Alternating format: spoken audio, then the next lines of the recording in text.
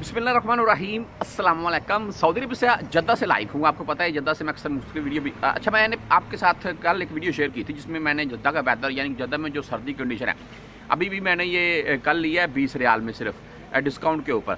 एक अच्छी चीज़ है यार, मुझे लगी मैंने ले ली। तो ये अभी डाली हुई है, बाहर आप बैठेंगे तो आपको सर्दी लगेगी।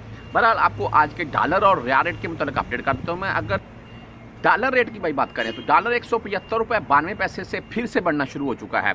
यानी कि एक सौ छिहत्तर रुपये अठारह पैसे आज का रेट हो चुका है जी डॉलर का, जो कि पिछले दस पंद्रह दिन से कुछ कुछ पैसे नीचे आ रखा था।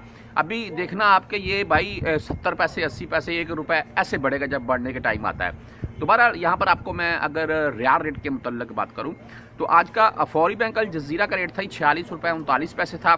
एस टी सी पे इसके थ्रू आप बेचते हैं छियालीस रुपये तीस पैसे रेट था। इनकी सत्रह रियाल पच्चीस हलाले फ़ीस है। तहवील अल राज़ी भाई छियालीस रुपये दस दस हलाले इनकी आज का रेट था, दस रियाल फ़ीस है। वेस्टर्न यूनियन छियालीस रुपये चौतालीस पैसे रेट है। और मनी ग्राम छियालीस रुपये अट्ठावन पैसे। और इसके अलावा टैली मनी छियालीस रुपये पंद्रह पैसे। वैसे अगर करंट रेट की बात करें तो सैंतालीस से ऊपर ही जा रखा है। लेकिन जो बैंकों के हिसाब से आज का रेट था, वो मैंने आपको बताया है। छियालीस, आप यही इसी चीज़ से यार अंदाज़ा कर लें कि छियालीस, बीस, तीस से लेकर छियालीस, पचास, साठ के राउंड में चल रहा है। और मुझे खुद से लगता है कि आने वाले कुछ दिनों में डॉलर सॉरी रियाल फिर से महँगा होगा।